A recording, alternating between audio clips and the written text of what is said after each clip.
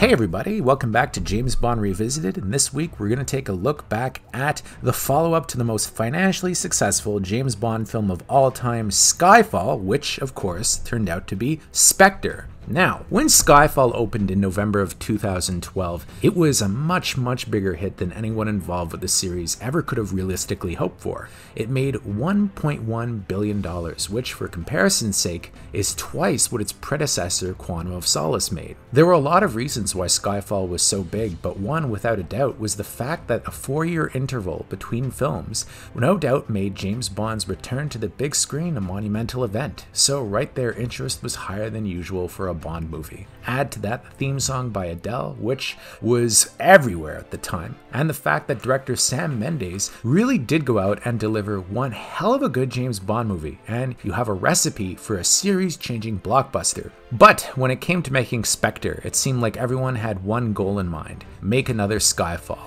And now, this is probably where things went wrong, as the movie eventually ended up opening to a rather cool reception by fans. It was still a financial success, not as big as Skyfall, but notably bigger than either Casino Royale or Quantum of Solace. Sam Mendes returned and was actually the first director since John Glenn back in the 80s to make more than one James Bond film back to back. Of course, Martin Campbell had made two James Bond movies, but he had several outings that he sat out between them. And I think maybe that's the key to be a really good James Bond director. I think sometimes you do really need to take a breather because these movies take a lot out of a director. I mean, just think about it. Think of what must go into making a James Bond movie. Can't help but think it would be super exhausting, right? Especially for a director like Sam Mendes, who probably wasn't used to the logistical challenge of making a big action movie like this. When you watch Skyfall, you really get the sense that the director, in this case Mendes, is putting literally everything he has up there on the screen. It doesn't feel like this is setting up a big franchise. It feels like he was trying to make the definitive James Bond movie. Whether or not he was successful or not is really up to the average viewer. I don't know if I would say it was a definitive James Bond movie, but it certainly was a very successful James Bond movie. But I think by the time it was over, he was kind of done, right? But of course, it was so financially successful, there was never any doubt that they were going to bring Sam Mendes back, and he was enticed to come back and do Spectre, which I think in hindsight might have been a mistake. Apparently, a few other directors were approached with Nicholas Winding Refn, actually apparently having been approached at some point or so he says. Nick Refn James Bond movie probably would have been really weird, to be honest. However, we didn't get Refn. We got Mendes. And Mendes really did try to make Spectre amazing. And there are some technical aspects of the movie that are absolutely brilliant. For instance, there's the teaser of the movie, which takes place in Mexico City on Day of the Dead. And I feel like Mendes probably came back to do the movie just to do this sequence because there's this long, unbroken take that goes on forever and ever. And if you've seen his follow up movie, 1917, it feels like this was a dry run for what he hoped to accomplish with that film. And you know what? If Spectre being kind of a mediocre James Bond movie got us the all out masterpiece that is 1917, I'm kind of happy he came back and made Spectre Spectre, right? I mean, it's a great, great movie, 1917. And Spectre, well, not great, has definitely some moments, and this opening scene, which ends with this massive helicopter battle, is pretty insane, right? And I also love James Bond's Day of the Dead costume. It's pretty cool. And I think it shows off the cinematography by Hoyte van Hoytema pretty well. Now, of course, everybody was very disappointed that Roger Deakins didn't come back, but he had already done his James Bond movie. I think what happened was Deakins basically went by the lesson that I think Mendes didn't learn was that he had put all the ideas that he had into a James Bond movie into Skyfall and didn't really have anything left over for Spectre, so he stepped out. And Van Hoytema does actually, I think, a pretty good job, but a lot of people did criticize the photography when the film came out because it does look distinctly different than Skyfall. But no matter. Now, one of the things that's notable about this movie is that it had a really tortured production. And in fact, you can read all about it because unfortunately, Skyfall coincided with the Sony leak yeah, that's right. Back when the Sony servers were hacked before the interview came out, tons of information came out about Spectre, about the fact that the budget was completely insane, about some haggling between Sony and Eon and MGM, and basically the fact that the budget for this movie ended up being somewhere between 240 to 300 million dollars, which is just absolutely astounding. By comparison, Skyfall's rumored budget is only between 150 to 200 million dollars. They really, really put a lot of money into this film, but I think it was kind of all for naught because creatively, they just didn't have the same stuff that they did in Skyfall. Now, that's not to say they didn't try. Neal Purvis and Robert Wade, of course, were back to write the script, but they had an assist by John Logan and Jez Butterworth. Now, the intention with this movie was to bring all the previous installments in the Daniel Craig canon together and relate them all to that classic criminal organization that they hadn't been able to use since Diamonds Are Forever, officially at least, Spectre, Special Executive for Counterintelligence, Terrorism, Revenge, and Extortion. Now, I've gone into it in other episodes why they couldn't actually use Spectre, and it was due to some legal rights haggling with Kevin McClory. But by the time Spectre came out, all that had been resolved, and it was time to bring back Ernst Stavro Blofeld. Of course, they didn't tell anybody this when the movie was being made. No, no, they were all pretending that Christoph Waltz, who was cast in the role, was going to be playing a guy named Franz Oberhauser. They wanted it to be a big surprise, which is kind of like when they cast Benedict Cumberbatch's Khan in Star Trek Into Darkness. I think that when people actually realized that he was playing Blofeld, they were kind of disappointed, right? Because they didn't build up the character at all. They made you think that he was this other guy, and then, oh, he's Blofeld after all, who's this iconic character. It doesn't really make any sense. And he's got hair. I mean, I'm sure they're gonna make him lose the hair at some point, whatever, but uh, I don't know. He didn't seem like Blofeld to me, that's for sure. Anyway, they really tried to draw together the events of the other films by saying that Mr. White and Silva and all the villains, Le Chiffre, all the bad guys that he's faced up to now were all working under the umbrella of an organization which turns out to have been Spectre. It was all me, James. It's always been me, the author of all your pain. But I never really understood why they felt the need to really always kind of make it seem like Daniel Craig was fighting one enemy in all of these movies. Skyfall kind of did away with that, and I think that it really worked in that regards because it allowed them to tell a pretty simple and emotional story, which in the end was all anchored by the affection that 007 had for M. Here, M is more or less gone, but they still can't resist bringing Judi Dench back for a cameo by having her show up in a video recording, which I felt kind of cheesy to be honest, because we have perfectly good M now, who's of course played played by Ralph Fiennes. The premise, of course, is that MI6 is under bureaucratic attack by a new character named C, who I think that Ralph Fiennes actually is one of the best lines in the movie where he says, you, you, I know exactly what C stands for. And I thought he was going to say, you know which word, but then he said something else. And now we know what C stands for. Careless.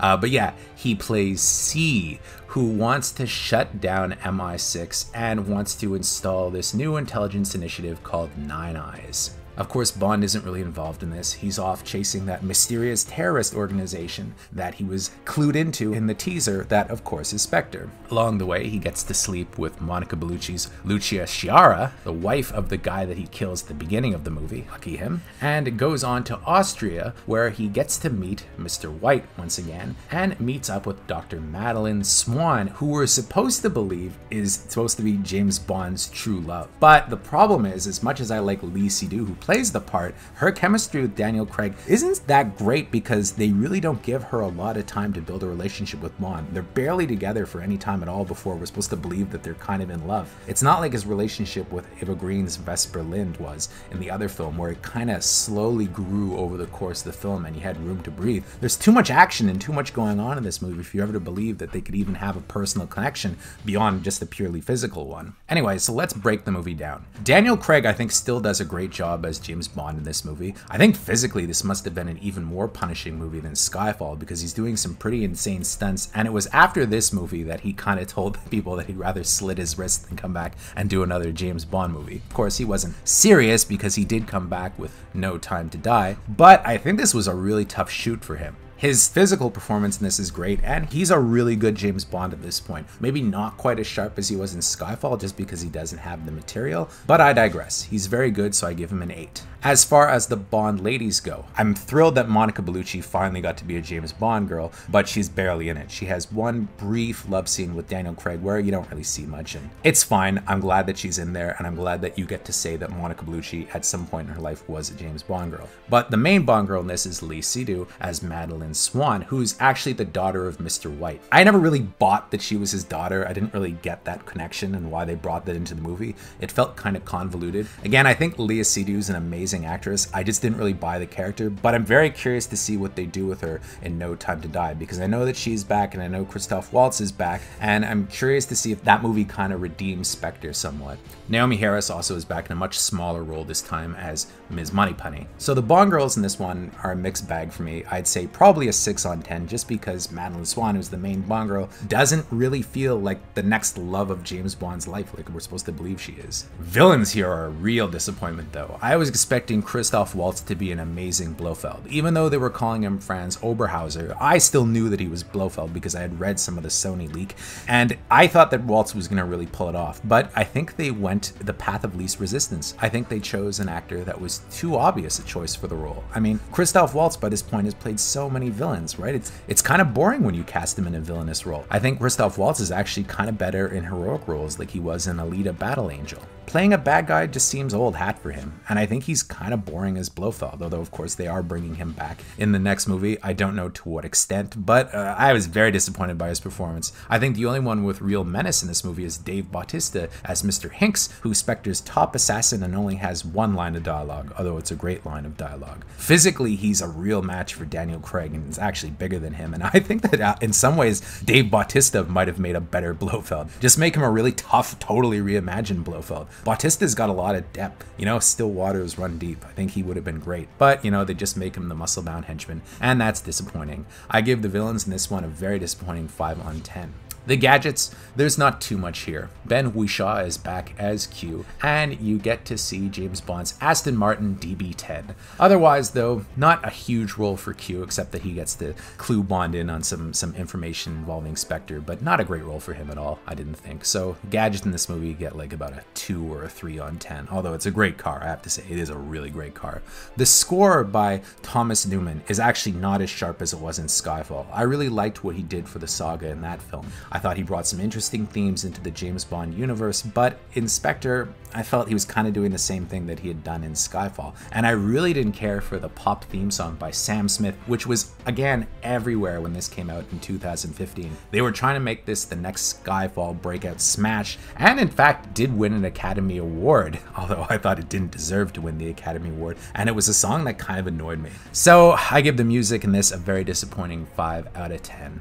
As for the movie itself, a lot of people have said that this is one of the worst James Bond movies ever, but I really don't agree at all. I think people are really mistaken when they say that. I think the problem with Spectre is that it's just not Skyfall.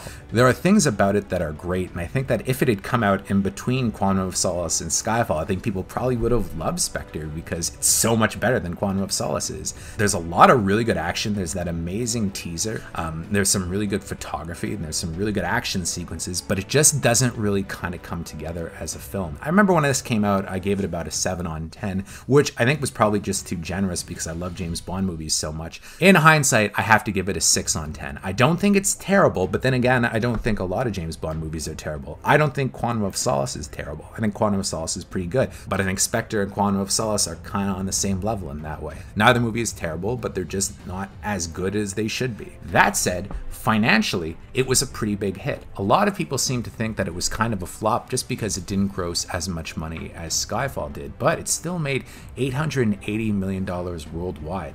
And that is probably the second highest grossing James Bond movie of all time after Skyfall, and it was notably bigger than either Casino Royale or Quantum of Solace. So while it wasn't the size of a hit that Skyfall was, Spectre was still a very successful movie. Now, I think that Spectre is one of those movies that might be better in hindsight once we finally get to see No Time to Die, because apparently it does pick up on a lot of the threads left by Spectre. So I'm waiting to see. I'd love to do another James Bond revisited of Spectre, maybe take two a couple years from now, where I go back and I say, oh, you know what? Spectre was actually amazing because it was just dropping us all these hints for what was to come in No Time to Die.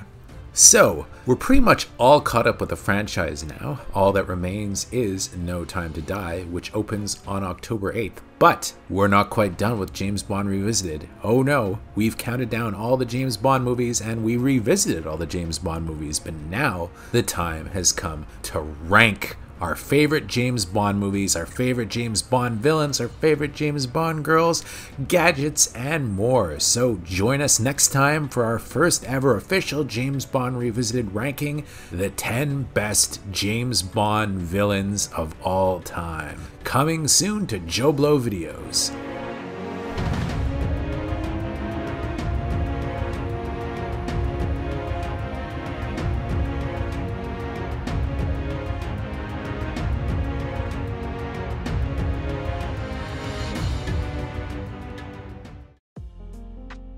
You like this video and you like the James Bond Revisited series, make sure to click on the bell to receive notifications every time we post a new video. We're an independent company, and you know what? We appreciate all of your support.